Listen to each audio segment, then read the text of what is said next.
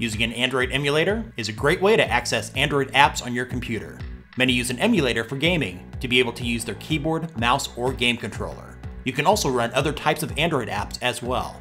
With so many emulators to choose from, we've come up with a list of the top 5 Android emulators for your PC. In testing, we looked at the features available, stability, ease of use, and the overall user experience to determine the best. Let's get started.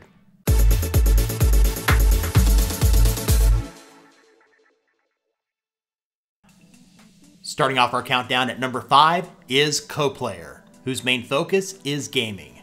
It allows you to record your gameplay and upload it wherever you want it. It also allows for key mapping to emulate a controller with your keyboard. When you first launch KoPlayer, it will ask which mode that you want. To maximize game performance, select Speed Mode. If you run into any issues after starting KoPlayer, you can switch to compatible mode later on in settings. Along the left, you have several options. Here at the top, selecting the keyboard icon will let you edit the keys for your keyboard. If you're using a game controller, you can activate it and map it to your preferred layout. To switch from landscape to portrait mode, select the rotate screen icon. You'll also find other options for taking screenshots, recording, and sideloading APKs. Like many of the Android emulators, you have full access to the Google Play Store to install apps. Just use caution like you would on your phone or tablet when choosing which apps to install. Unfortunately, on the home screen, the app icons can't be moved. KoPlayer is completely free, but like most emulators, you'll have to deal with the occasional ads. Coming in at number 4 is MEmu Play. Unlike KoPlayer, which is based on Android KitKat, MEmu software supports apps up to Android Lollipop 5.1. It supports multiple instances to run multiple apps simultaneously, along with support for a mouse, keyboard, and gamepad. In MEmu, all the familiar options show up on the right side of the player. To create multiple instances of the MEmu player for multitasking purposes, select the Multi-MEmu icon. In the lower right, click on Create. You can pick either Android 5.1 or 4.4. 5.1 is newer, so most times you'll select that one. Then click on Start. And it will open a new window for MEmu so you can work on more than one task at a time. MEmu Play is free to use and continues to improve with each new update. In at number 3 is BlueStacks, which is the best known Android emulator and was recently updated to Android Nougat. It has keyboard, mouse, and gamepad support, along with the ability to run multiple apps side by side. This emulator targets gamers. A quick look at the user interface, you'll see that we're in the App Center, which lists recommended apps along with popular, top grossing, and trending in the right pane. Along the top, you can access My Apps, which will show apps that you have installed. If you need assistance, you can go to the Help Center, and to the right of the Help Center is Pika World, which is their in-platform reward currency system where you can redeem points for physical and digital goods, in-app purchases, and can be used to update skins. I personally find PikaWorld to be more of a nuisance with its constant notifications. Let's go back to my apps. The tabbed interface is a cool feature.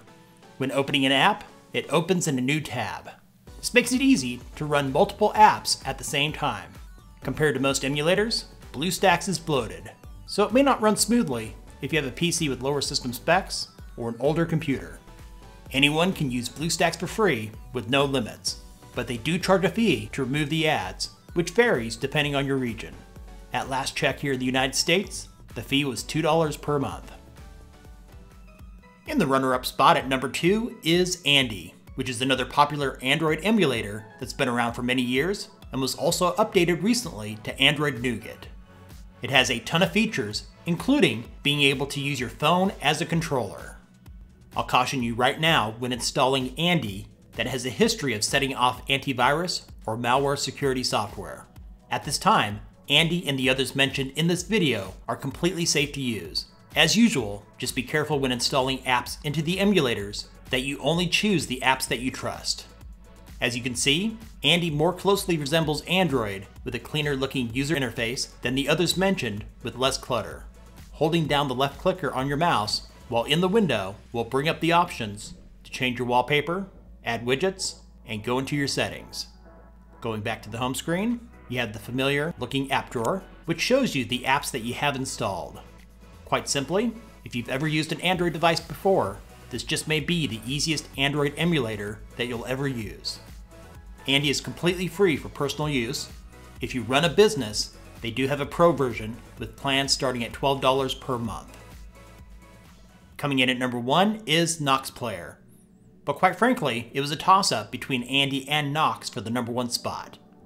Even though Nox only has compatibility up to Lollipop 5.1, I found it performed better than most of the other emulators when gaming, while including most of the same features.